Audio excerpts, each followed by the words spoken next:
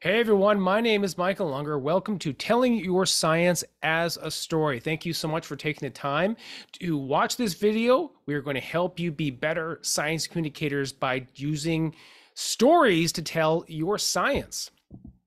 This workshop is part of a series on social media communications created with support from the Canadian Institutes of Health Research and the Pacific Institute on Pathogens, Pandemics, and Society to access other workshops in the series. Visit youtube.com slash at pips BC. That's P-I-P-P-S BC. And before we get started, I do want to acknowledge that the Simon Fraser University respectfully acknowledges the Musqueam, the Squamish, the Tsleil-Waututh, the Katzie, Coquitlam, Qayqayt, Kwantlen, Semiahmoo, and Tsawwassen peoples on whose unceded traditional territories our three campuses reside on. Now, for this workshop, by the end of it, you're going to be able to describe the value of storytelling for communicating with the public, apply a storytelling framework to a health or emergency preparedness topic, and revise your story to make it more accessible to a broad audience by removing jargon. Like I said, my name is Michael. I am a professional science communicator. I have many different roles. My main role is at the H.R. MacMillan Space Center. I'm the program coordinator there. I I'm a mentor. I am also a trainer for a lot of our staff in a variety of different spaces, usually talking about space, the universe, but sometimes encapsulating everything underneath the universe. And uh, in my other side job, I am with Nerd Nite Vancouver, which we are an informal space for scientists to tell their stories. Uh, we converted that to a podcast over the pandemic, but our in person events are coming back. So if you're in Vancouver, look us up. We're going to be having some events uh, hopefully coming soon. This uh, I'm recording this in the summer of 2023, but we have some events being planned very soon. We turned that into a podcast, like I said, Nerd and About podcast. You can hear lots of different scientists telling their story on that podcast. If you're a podcast listener, check us out. My new role is also with the Science Fair Foundation of BC. I'm the outreach manager there. So I work a lot with kids on their first journey in being science communicators, science fairs so amazing, so much energy and so fun to see kids on the beginning of that journey just getting into science for the for the first time. And i have a podcast there where i talk to some of those young scientists. It's a short form podcast called let's innovate. Check that out on all your social media platforms. Okay so that's the background. That's it for me. I'm going to turn off my camera. We are going to get into the work. We're going to have a lot of fun. You are going to do some of the work as well. So there's going to be various times during this recording that I'm going to ask you to pause and do some work and hopefully have some fun. Okay, here we go.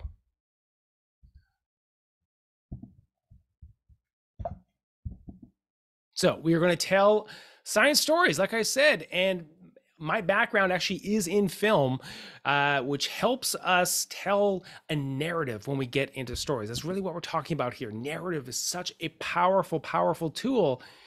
And you know that from the very first time that you start hearing about stories and you tell other people stories about a movie you just saw or just something you did. We're constantly telling stories to each other, but this narrative framework really works well in a science context as well. So, as I delved into this topic, you know, I wanted to give you a whole bunch of research and a whole bunch of background into why storytelling is so powerful. And as you can see, there's a ton and ton of papers that have been written on this very topic. But the thing is, I've actually done this trap that a lot of science communicators fall into. Even in my day job at the Space Center, I ask a new employee to present on a new topic, and I'm presenting on this topic to you. And you do all of this research, all of this research, and you forget the one cardinal rule of what we're talking about here is that all of that can really lead you and distract you from the core message. What is the story. And knowing is not equal to doing in this case. So why don't we just get right into some practice? What is it that I'm, we're talking about here? What is the story when it comes to science and facts and separating those two? Okay. So here we go. Here is our first factual story. And you may have heard this one before. Okay. The queen died and then the king died. Pretty straightforward, right? This actually comes from E.M. Forster. But how about this? It's a very short story. It draws a cause and effect connection between the facts and emotion and conflicts. It helps us understand the situation more clearly by getting at the emotions and then the why. The queen died, and then the king died of grief. Okay, so stories are not reports, they are journeys. And it's your job to take your audience along for the ride. We use stories to make sense of our world and to share that understanding with others. Okay, so what I want to do in my connection to you is I want to tell you about this journey that I have had quite recently, actually. And it actually came when the JWST, and we're going to actually get into acronyms and jargon in a minute, but the James Webb Space Telescope was launched and it was a big news story. So lots of reporters come calling the Space Center. They want to talk to someone about what's going on. And I talked to a reporter from the Vancouver Sun, and this is the end result of that conversation that I had with that reporter. And the headline is NASA's hot dust, steamy photos with Canadian connection capture the world's attention. And the subheadline is The cosmic images revealed today are captivating, not just for their physical beauty, their glittering cliffs, but for their power to move us. And I was quite taken aback when I saw this headline because I had a very long conversation with Denise Ryan, the reporter in this case. And I found it interesting in hearing the questions that she was asking me because she kept on asking this why. Why does this matter? We have just sent up this really expensive telescope up into space, and I was talking a lot about the science and what it's going to do for the science. But Denise kept digging why does this matter? Why does any person on the street that doesn't know the Big Dipper from the Little Dipper, why are they going to care about this super expensive telescope? And as I kept talking, I actually mentioned a line that is actually in the article, which is that I said, well, the reason that this telescope is a window into all sciences, and in fact, it's kind of not fair that the James Webb Space Telescope gets more attention than other science, but the reason that it does is because I just laid it out plainly that space is kind of sexy. And she kind of like drew on that notion. It's like, oh, okay. And started to use these analogies. And if you look back to the headline, NASA's hot dust, steamy photos with Canadian connection capture the world's attention glittering cliffs, physical beauty. It was all about the beauty of the universe. Science is that. And that's what Denise was drawing upon. That's what was going to hook the readers and the layperson into the story. And I found that really fascinating that Denise used that very notion that we're going to get into, which is setting plus character plus conflict divided by time. Okay, so you don't need to get that specific for our purposes today. We can just start really with the basics. We have an intuitive understanding of what makes a story. Okay, it takes place in a setting with some character and a problem that introduces meaning and prompts action, which then has some outcome. And that all takes place over time, which is why stories have a beginning, middle, an end.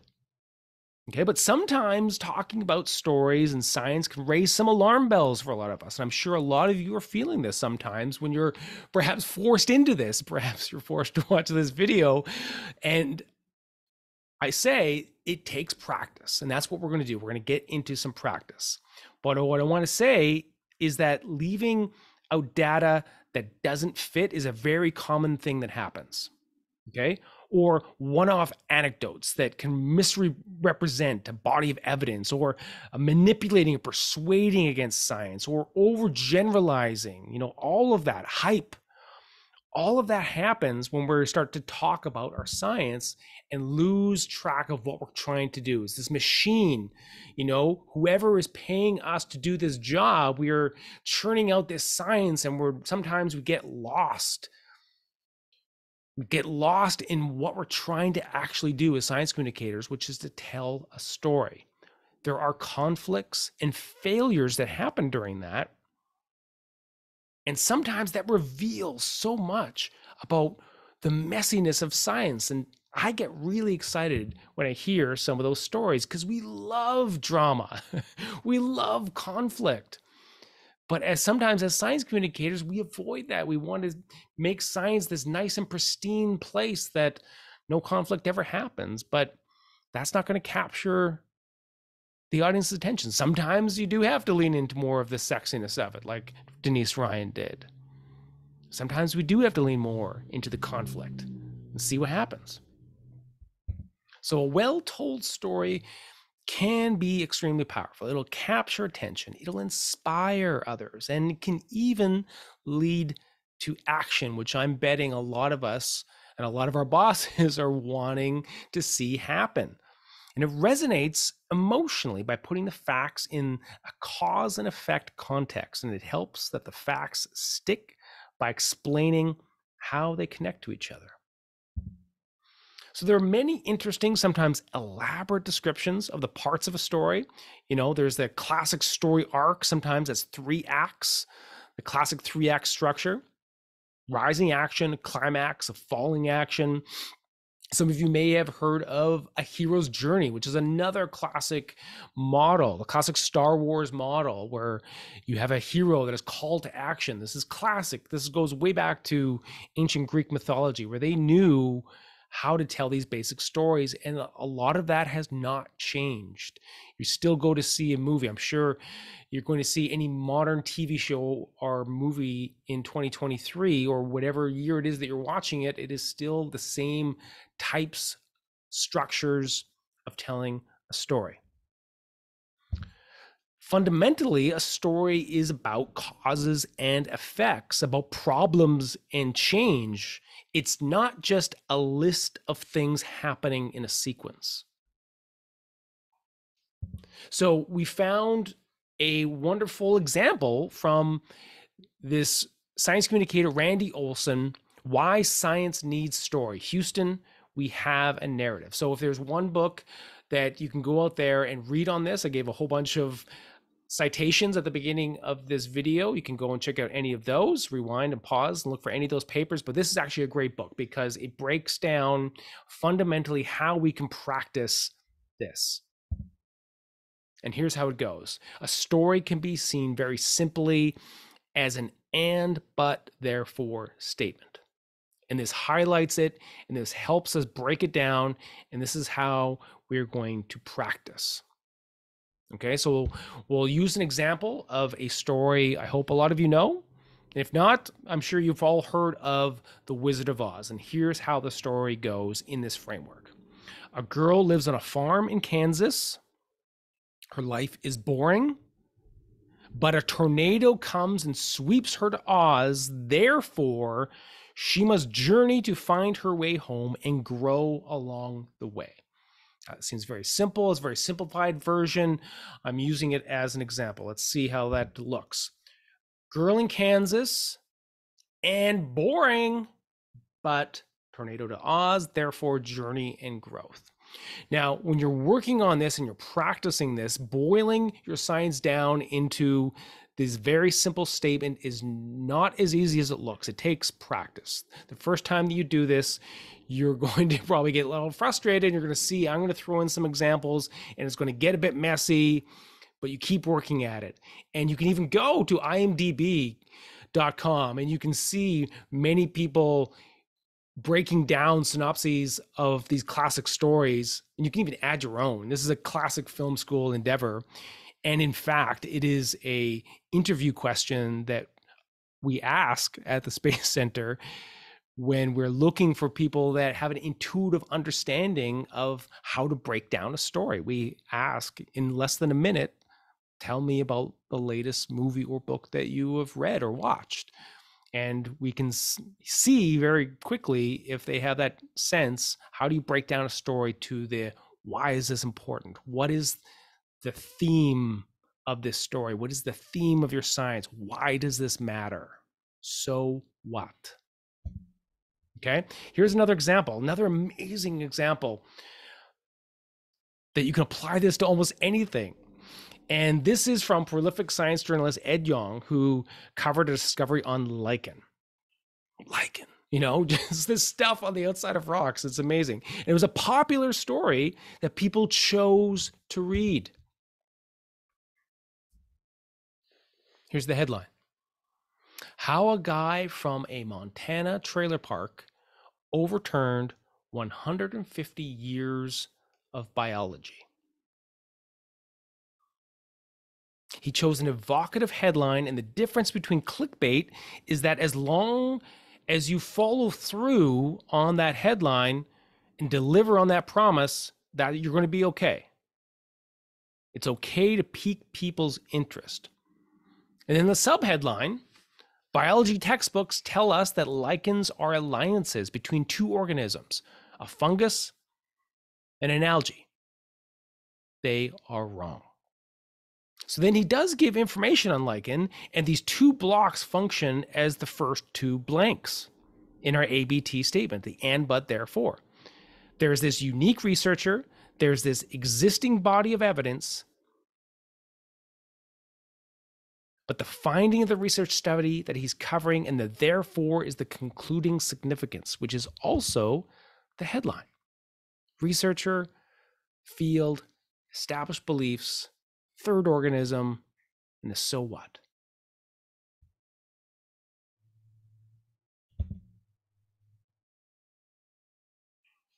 Break that down into our nice little framework here.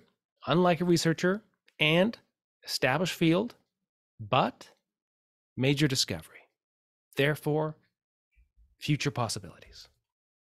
You can do that. You can be really kind of basic when you're breaking this down and of course, when you're using social media, you were very limited with your characters. So sometimes this can really help you really narrow down a story that you go on and on and on about, but really break it down into this framework to what it's all about. What is the story? Something and something, but something, therefore something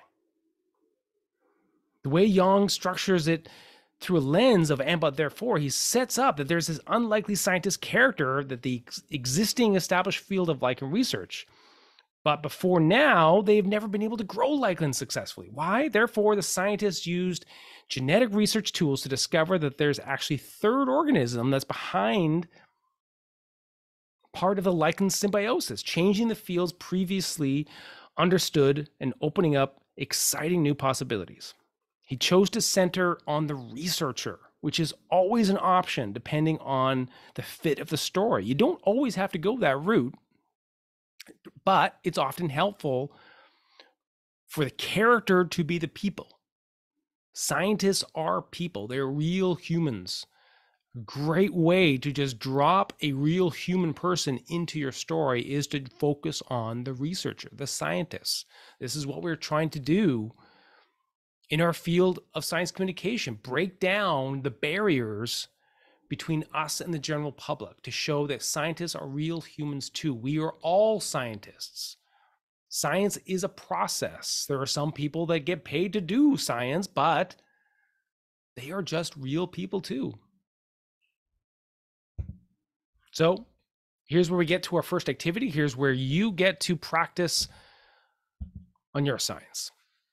So pause the video, use the framework that I have up on the screen, and try this out. Like I said, it's going to be messy. Just set a timer, set a timer for five to 10 minutes, and just write down a bunch of things that you think can fit into this framework. Might not all fit right away, but try it out. See what happens. And come back, we'll keep going.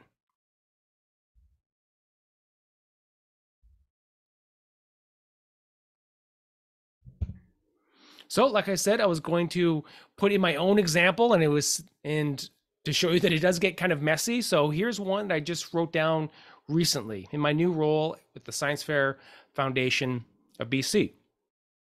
Science and STEM fairs sustain and enhance the science culture of youth and it gives kids the opportunity to embrace curiosity through science outside of the classroom. But science fair numbers are down significantly post pandemic. Therefore, we must engage with teachers and parents to show how science fairs can be beneficial to all school age children. Now, I could rework this a ton, and I will actually rework this a ton, but I wanted to show you this as an example because it might be very close to how some of you are taking a story or something that you're working on and you're trying to fit it into this framework. It can get kind of messy. I can boil this down. I'm going to use this as an example because we're going to get into some other ways to break down and analyze what I've just written here. And here's another example from directly social media Health Canada and PHAC, a cannabis brownie can look like a regular brownie, but can cause severe poisoning in a child. If you're baking with cannabis, store the edibles out of reach and away from regular food and drinks. Keep it hashtag high and locked.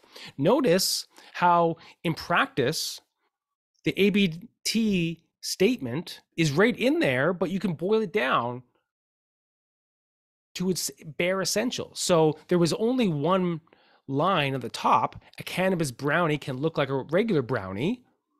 And then they skipped right to the but can cause severe poisoning in a child. Therefore, if you're baking with hashtag cannabis, store the edibles out of reach and away from regular food and drinks.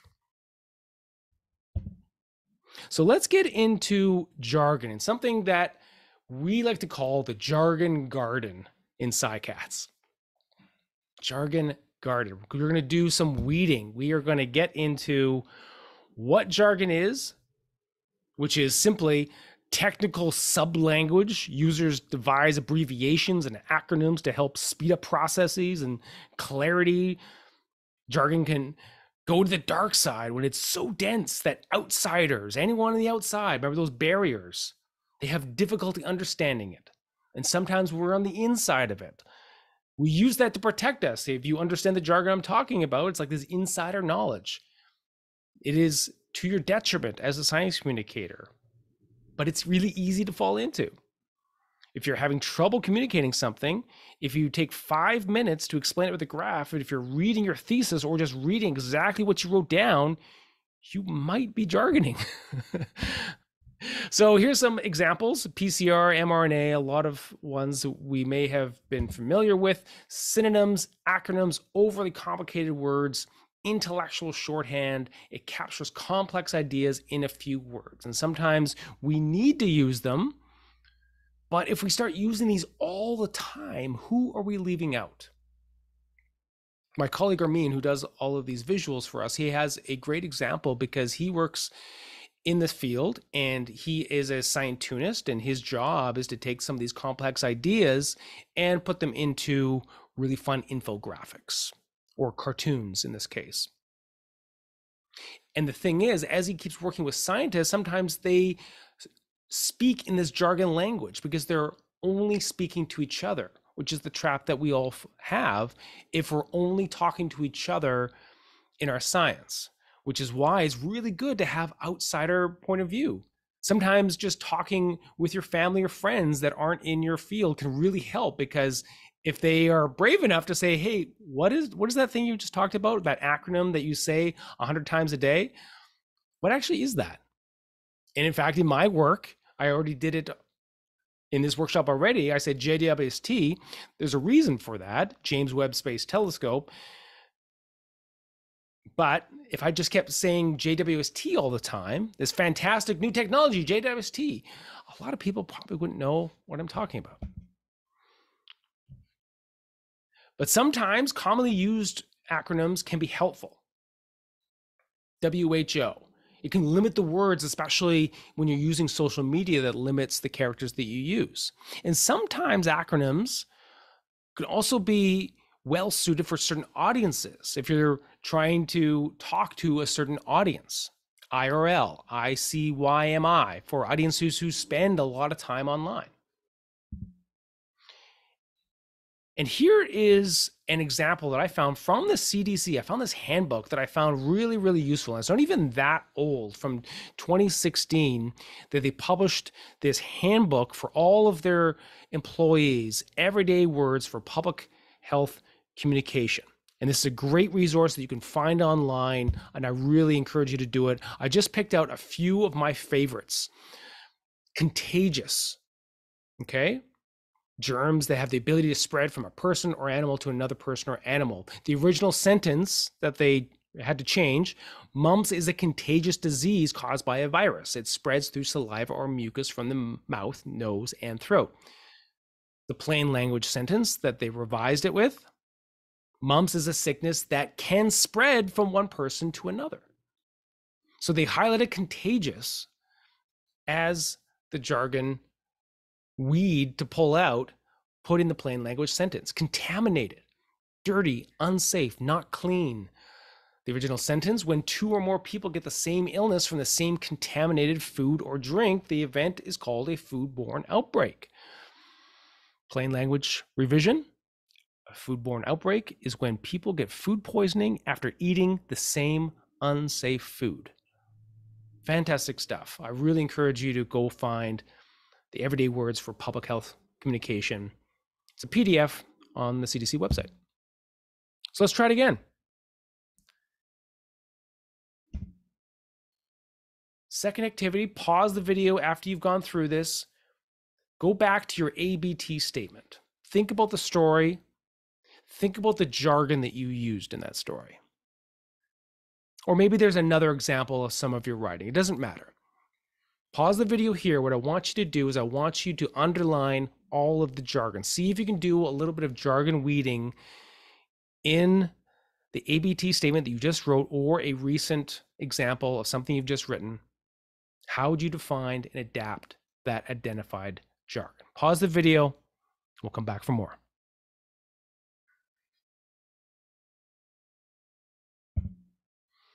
As an example, there's this readability scale, something that was published back in 1992 by Donald P. Hayes when the growing inaccessibility of science was starting to become a thing, even way back then.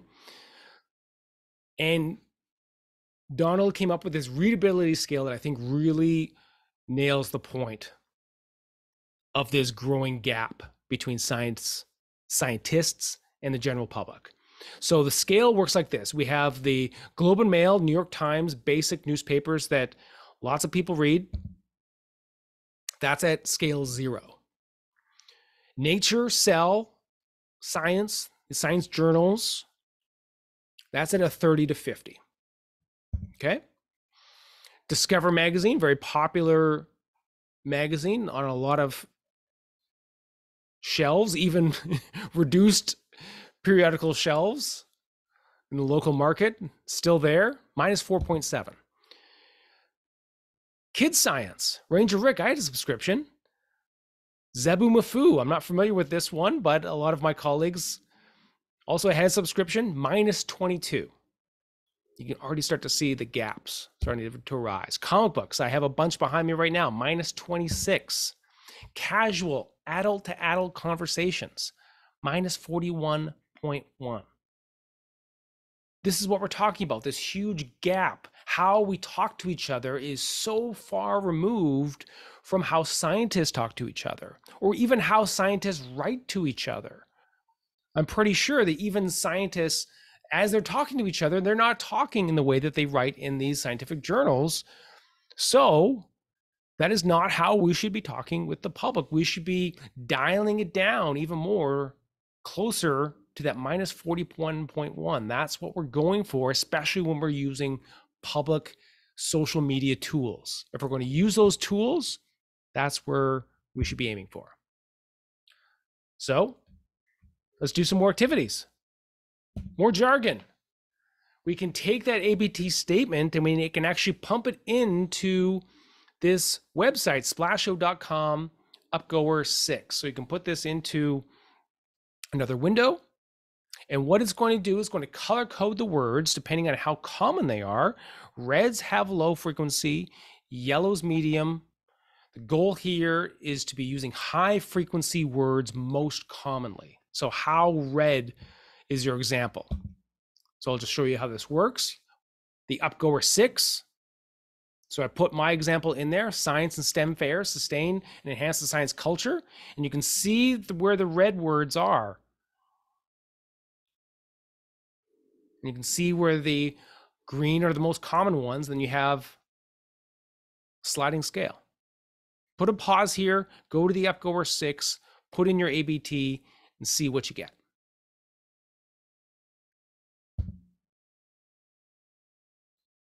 As we move on, we can do this again with a dejargonizer. We can use that same piece of writing that we just did.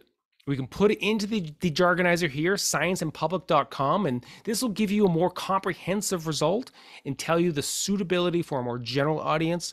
The, the jargonizer wants you to have between 95 and 98% vocabulary comprehension. And here's the result of mine again.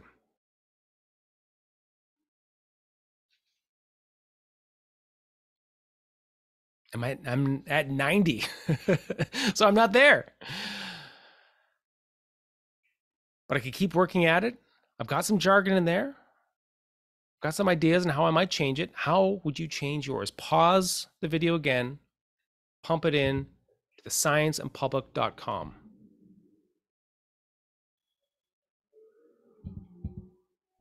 Let's move on. Activity number three, we can keep reworking the concept. Maybe you found some surprises even in your own work. Go to the Upgoer 5 this time. This is going to test you. How do you really know your topic? Can you explain your topic using only the 1000 most common words? So you'd have to you'll go into the Upgoer 5 and it'll show you what those 1000 most common words are. And this is a really fun exercise. You may not end up using the language from this website, but it's going to help you take out some of that jargon. This is a really good jargon garden tool. Weed the jargon out. And here's what that looks like. All the words that are underlined are not in the list. A lot of non permitted words. Science, STEM, fairs, sustain, enhance, science, culture. How would I rework that? Just using the most common language. In order to take out the jargon plants, we've got to define them. Define them right away with an example relevant to the audience. Make sure you consistently use the phrase or term to avoid confusion. And get to that readability scale. You can even use Word, and there's a tool that will get you to what we're going for. Break it down. Less words per sentence, never more than 45. Don't use long words. Which brings us to the end of this workshop. I hope that you have enjoyed watching Telling Your Science as a Story, Dejargoning Your Science,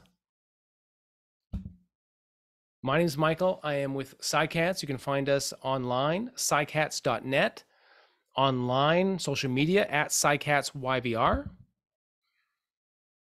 This workshop has been in collaboration with Pacific's Institute on Pathogens, Pandemics, and Society.